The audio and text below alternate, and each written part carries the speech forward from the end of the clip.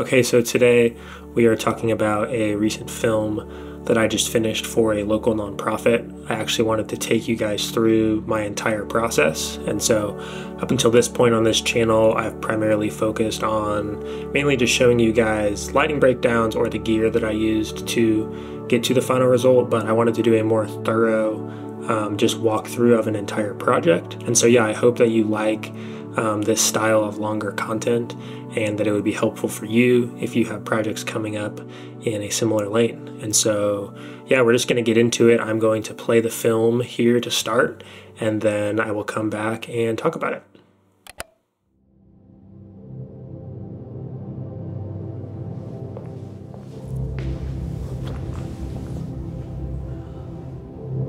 The PAL has been an answer in the middle of a lot of chaos that surrounds it. There's like a cloud of hopelessness in this community. And when you have hopelessness, you have people who feel like they don't have anything to live for. So whatever's available to me, that's the only option that I have. The neighborhood I live around and like the people I go to school with and stuff like that lately is it's honestly been a lot of violence and we got drive-by shootings probably like three times a week. I mean, there are kids in this neighborhood, they have seen people die and the only time I've seen a dead body is at a funeral, but they have seen people shot down. I mean, the most terrorizing types of situations. If you live in environment like that where nobody cares about you, you don't care. You start not to care. And so it's anything goes. And it breaks my heart to see that.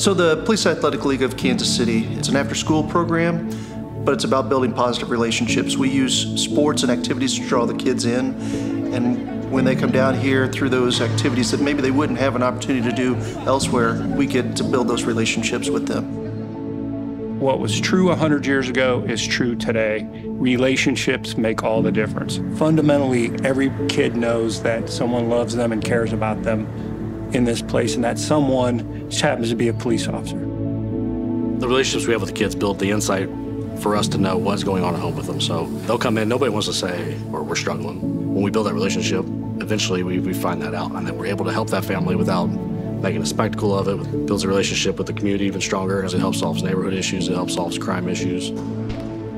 It's definitely been a, a, a positive impact in my life. Cause he knows, he knows that we don't have like a, a father present, but they kind of made it easier for me just because they support me and anything I need, they got me.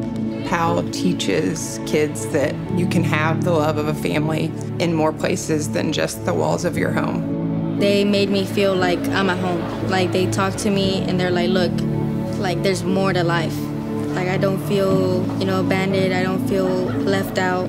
They make me feel like family. I think they feel seen, heard, respected. I just think they feel like this is a family. I'm gonna cry right now because not only they've helped me, but they've helped my family and they've helped me through so much. And I'm so grateful for that. Like, I am so grateful, and a lot of these kids are so grateful because sometimes all they have is here. Because you can't change what they have to go back home to, but they know when I get up in the morning, I'm gonna go to school, I'm gonna be hungry because we don't have no food. But when I get to the PAL, they have food for me. They gonna talk to me, they're gonna support me. Um, here I definitely feel loved and supported. They support me through a lot. You just feel like family here. It's important that this place stays open. It's important. It is vital to the heartbeat of this community. If this place stops, there is no other hope. If I could take you through this community, you will see. There is no other hope if these kids can't come here, if they don't know, and if they don't have a place to go to. They've changed their lives. I would never get this opportunity, and it's all because of them. I don't know. yeah, but.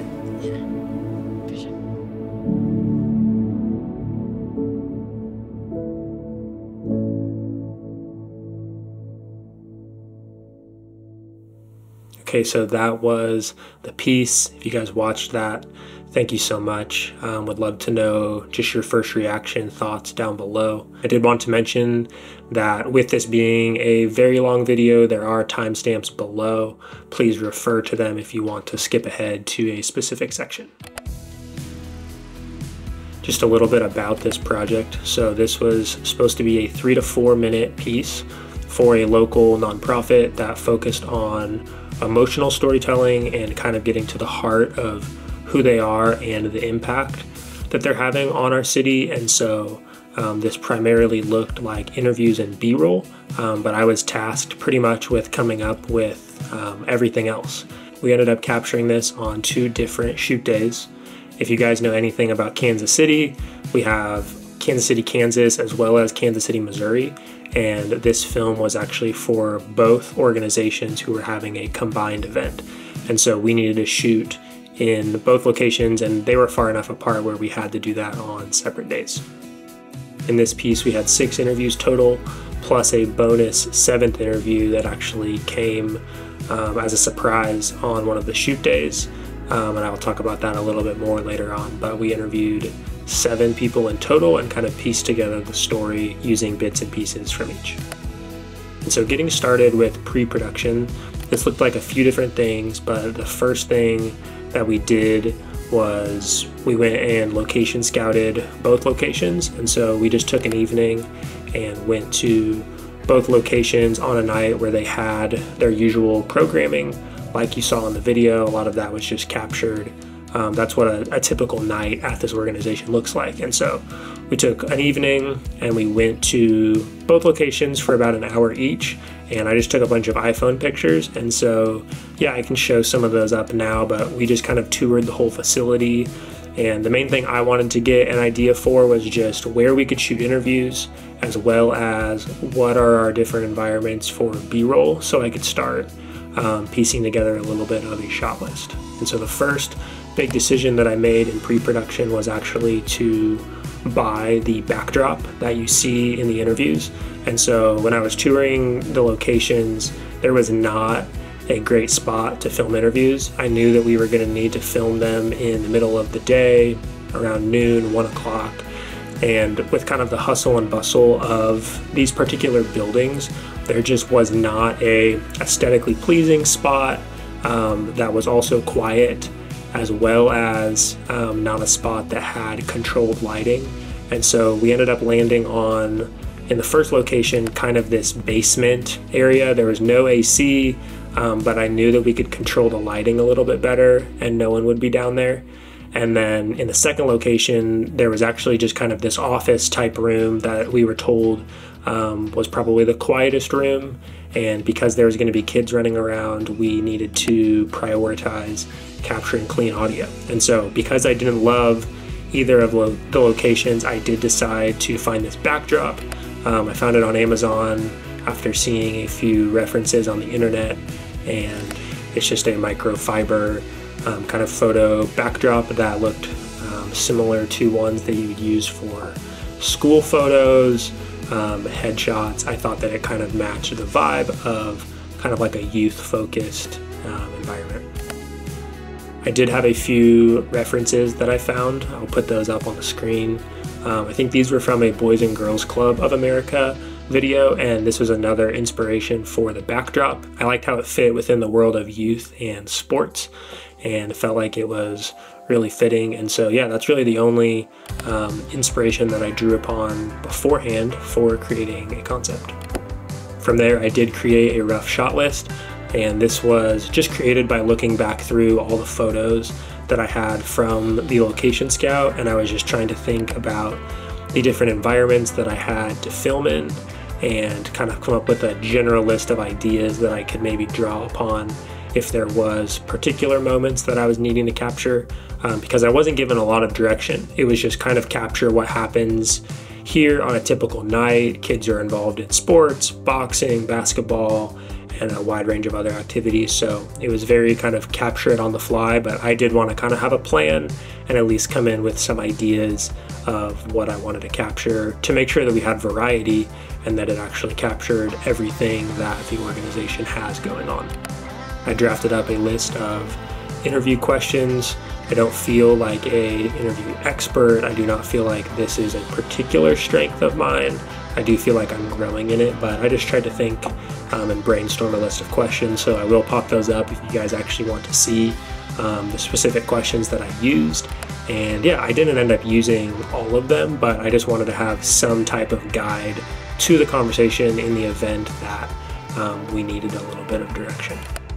And the last step to pre-production was just hiring crew. And so for this video, there wasn't really a huge budget to have a ton of people involved outside of myself. Um, but I was given budget to hire a few of my friends to help as PAs. And so, yeah, on the first shoot, I did have two PAs helping me uh, most of the day. And then on the second shoot, I had one PA kind of throughout the day. Okay, so now we are going to talk about setup one. And so this is the setup that was in the basement. And I apologize that I don't have better behind the scenes footage. We really just had what we captured on our phones that day. Um, the day was kind of hectic, and so I did not have time to go back through and capture a bunch of BTS on my camera. So forgive me. Um, I would love to make these more high quality in the future, but I did want to include um, all of these photos because I did feel like it gave a good um, yeah, idea of the setup that we had and how we accomplished what you see in the video. We filmed these first interviews using two Fujifilm X-H2Ss and we were on the Sigma Art 18 to 35 as well as the Sigma Art 24 to 70 and we were shooting in 6K 23.976 frames per second. We were shooting 200 megabytes per second, long GOP, 422, and classic chrome. And so I know someone is probably going to ask about that. Those are the specific settings that we used. And so lighting wise was the Godox SL60W being used as a key light. Um, we used a big softbox and then we actually double diffused it through a large 5-in-1 reflector to make it a little bit um, softer. And then as a backlight, we did use one of the Quasar T8 tubes, and this was giving a little bit of an edge light as well as lighting up the background just a little bit to provide some separation. The only other modifiers that we really used in this first setup was a reflector on the left side, and so you'll see this in the BTS, but um, it was a little bit too dramatic, and so we did actually use the silver reflective side of the reflector to bounce a little bit of light back into kind of the underside neck area of um, the shadow side of the face and this helped um, it be a little less dramatic. Audio wise we ran the Sennheiser MKE 600 on a long boom stand and this we actually plugged directly into the XH2S and so yeah um, from this video all the audio is using the preamps inside the XH2S, and we also ran a backup microphone into the other XH2S, which I'll talk about later. We ended up messing it up, but um, we were monitoring the audio of the MKE 600 to make sure that it sounded really good. And so from there, on this first go around, I did the interviewing. And so I ended up using some of my questions, but I often just kind of toss those out and like to be more conversational with whatever um, the interviewee is kind of interested in talking about. And so, yeah, we kind of went through the whole um, range of topics. And after the interviews were done, we actually did the walk in shots that you see in the film. And so we did one with every person we interviewed, and we didn't use all of them. Um, but I just had the subject stand out of frame, and I just simply told them to, yeah, walk in and sit down and then look directly at the camera. Um, we did this at the end of each interview, and I feel like it really helped um, just with kind of the documentary style look. All the B-roll was also captured on the Fujifilm X-H2S and the Sigma Art 18 to 35, and this was all shot at 60 frames per second and the same data rate of 200 megabytes per second, long GOP, um, 422. A lot of this B-roll we just captured in the moment where we kind of walked around to the different things going on at um, the event, and we did provide a little bit of direction if there was a specific shot that we wanted. But this was just me on the XH2S, and then um, one of my PAs did actually have the RX18 TD panel light. And I did want to show you guys this. This ended up being super helpful where um, we did use a V-mount battery to be able to power this light just on the fly. So he wore the control box just around his body with a strap and then was actually able to just hold the light um, when we needed it. In the final piece, I do feel like half the shots we did light and half the shots we didn't. Um, part of this was intentional and part of it was just there was a few moments that I captured and there was not time to add any light. And so yeah, a lot of the basketball shots were just um, with the ambient light in the room, um, but we did get to light a few of the shots. As far as those shots in the outdoor garden, we shot these all with natural light and we actually just used the large 5-in-1 reflector to diffuse the light from overhead. I don't have any good BTS clips of this, but we were just diffusing the light from overhead using the sun as our source. Okay, moving on to setup two. This was in the smaller kind of side office room and we ran a very similar setup, but we did have a few changes that we had to make just based on the room. And so um, directly behind the camera was actually some pretty large windows that we had to black out just because they were filling in too much of the room and we didn't want the sun changing throughout the day. So I don't think I have a clip of that, but um, I did want to tell you guys that we did block out those windows and this room was just a lot closer. And so you will see that we added some negative fill on the shadow side of the subject's face and that's because the walls in here were like this light gray and it was just the light was bouncing around a lot more than the open basement. We also added the RX18 TD um, behind the backdrop. Um, the back corner was just falling off a little bit into black and so I did add the panel light back there on like 5% just to bring a little bit of fill to that background. I did not have a second XH2S for this interview. So we actually ran the Fujifilm X-H2S and the X-T3 and we shot in the exact same settings other than the fact that we did shoot in 4K instead of 6K. Um, I wanted both cameras to match on set and so yeah we shot the first two interviews in 6K and we shot the second two here um, in 4K. One change that I did make was actually bringing someone along to do the interviewing and so on the first shoot day, I noticed that I was a little bit distracted between um, getting all the cameras and audio um, looking good and sounding good and being present with the person that I was interviewing. Um, I just felt like my mind was kind of in a few different places. And so, yeah, for this second setup, I actually did bring someone who was already involved with the project and was there on the shoot day. Um, I just asked them if they would have interest in interviewing, and they graciously agreed. And I felt like that helped this second interview a lot, just run smoothly. And I was still able to interject with questions or clarifications if I had any, but for the most part, I was able to just focus a little bit more on just the capture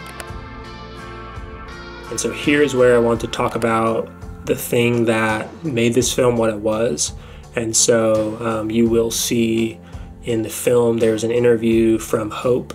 And that, this was actually an interview that we had not planned for. And so we had already had our six interviews, and we ended up kind of last minute, the day of, someone came to me and said, Hey, there's actually a mom of one of the youth that is here today, and she would be open to being on camera if we wanted to um, film her. And so, yeah, I think this added a little bit of stress to the day, but it felt, um, because we were already set up, it felt helpful just to go ahead and have her share a little bit. And so I think we only planned for this to be about a five minute interview and it ran about 20 or 30 minutes because what she had to say was so good.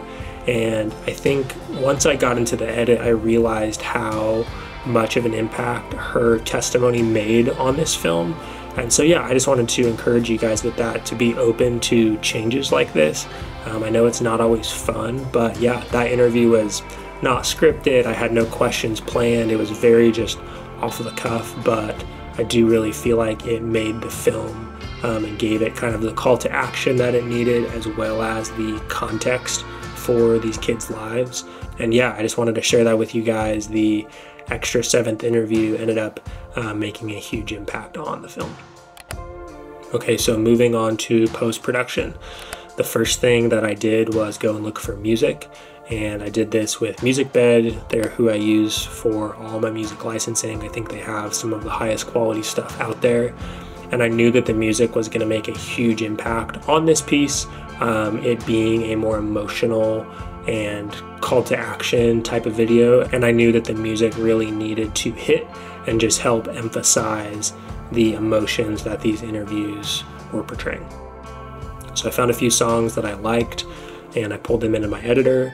And from there, I just went through all of the interviews, um, listened to all of them again, and made some notes and just tried to pull out all of the best clips. And so you'll see right here, I just went through and added little markers and made notes of what people were talking about. And I just tried to make sure and note any ones that I felt were for sure going to be in the film.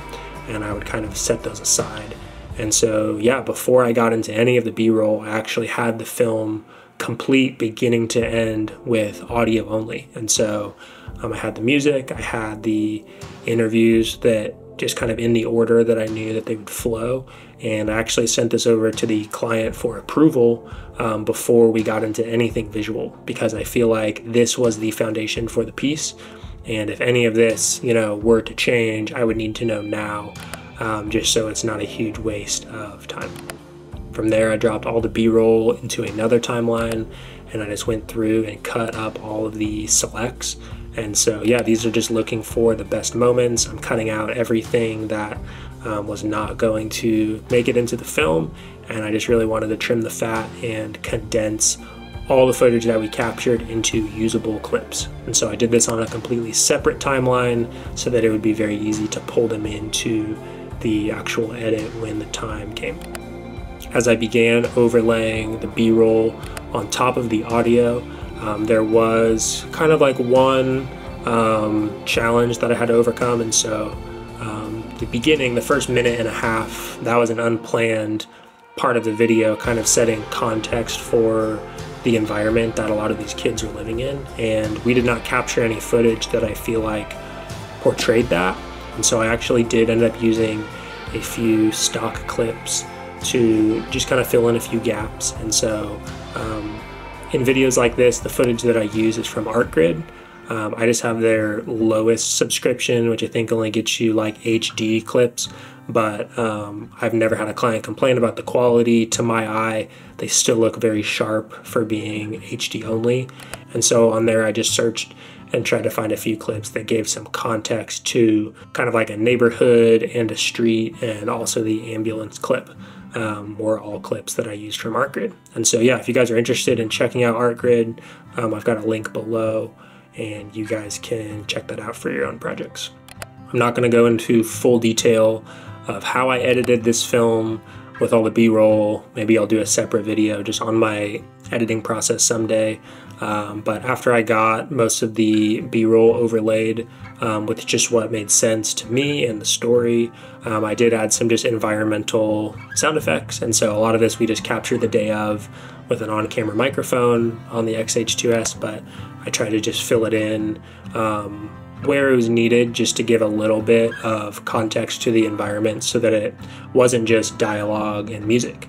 And so once I did that, I sent this over to my friend Jake, and he actually graciously came onto this project last minute and was able to help me with the audio mix. And so I really feel like this is what brought the film together. I think having the music and the dialogue and the sound effects all just fit together just right um, really helped this video hit. And I think that, you know, I could have done a decent job myself, but with as important of a project this was, I did want to get um, Jake's opinion, and he is just super talented when it comes to dialogue cleanup and also just leveling out um, voices and making them sound really, really good. The final piece of post production was the color grade. And so you guys have heard me talk about these in my previous videos, but these were graded just with my own LUTs. And so uh, majority of this was shot, as I said, in classic chrome. Um, and I used my Meadow LUTs along with the Film FX um, DaVinci Resolve Power Grade to kind of give these their final look. Um, and there actually were a few clips in the garden that we did shoot in F-Log as it was very bright and I needed to um, retain those highlights. And so, yeah, if you guys are interested in checking those out, um, I have a link below. I've already gotten a lot of good feedback from you guys of just how these LUTs have helped you. And so, yeah, thank you so much for supporting the channel in that way and would love to continue to see um, what you guys are doing with them. Okay, so let's talk about things that went wrong. I made a quick list over here that I just want to briefly go over. Um, the first one was just the schedule. So I think the majority of our interviews did not happen on time with the schedule that I had made for the day. A lot of this was outside of my control. It was due to just some scheduling miscommunication that the client had with the interviewees. And yeah, so I definitely felt like this impacted the feel of the day. Things felt a little bit rushed, and we were just kind of flying by the seat of our pants to get this all captured. Um, so that was one thing that went wrong. The second thing was I did not rent a V mount battery for the panel light on day two, and I just completely forgot, and we ended up having to run a super long extension cord. This was kind of a pain in the butt. I think in the future I would just um, use the V mount battery as it made um, the first shoe go super smoothly. And then finally, we had a backup mic run for audio on these interviews, and it was running into the second XH2S just as a backup track. And, you know, I just had the levels set to auto and I didn't think much of it. But when I pulled it into the editor, um, there was like a super loud buzz. Going the first time, uh, every time. Going back, I would have monitored the audio on that second camera. Um, I would have had one of my friends just put on the headphones just so that I could have solved this problem um, the day of the shoot and had us an actual usable backup track. And so just wanted to share that to say that I'm always learning. None of these projects go perfectly. Um, you know, I'm always trying to make the most of what I'm given. And so, yeah, know that if you find yourself in similar circumstances, just to keep a calm and level head and try and do your best to just push through and uh, make the most. As far as things that I learned, I talked about this earlier, but just the choice to not be the person doing the interviewing on the second day helped tremendously. And this actually wouldn't have happened if I wouldn't have asked my friends for feedback on how the shoot went. And so my buddy Dwane actually informed me that, you know, he kind of said, like, hey man, you did, you know, a decent job like interviewing, but um, I actually think that you would be better suited uh, making sure just all the technical um, is running smoothly and that um, Melanie, who was there, she would probably do a great job interviewing. And so I decided to, yeah, just like implement this little bit of feedback from my friend. And I feel like it helped the second day just go so much more smoothly. And that would not have happened if I wouldn't have been open to receiving some criticism and some feedback. And so, yeah, I wanted to share that with you guys. If you guys are working with a crew or a few people um, I encourage you just after shoot days to do a little bit of a debrief and, you know, be vulnerable and open yourself up to receiving critiques that maybe you didn't notice. I think it really helped me on this second day um, get everything that I needed. And so to wrap up, thank you guys for being here. If you made it through the whole thing, you're awesome. Um, I've really appreciated just hearing from you guys on how this channel has helped you. And yeah, I would love to know a couple things down below. Um, first, let me know if you were impacted by this film. Um, you know, you are not connected to my city or this organization, but just curious on your guys' thoughts on how the film hit you. And would also love to know any questions that you have um, about how we made it. And so I know even doing a video in long form like this, I missed a few things and I can already think of a few off the top of my head that I forgot, but would love to be a resource to you guys. So if you have any questions, drop them below and I will see you guys in the next video. Peace.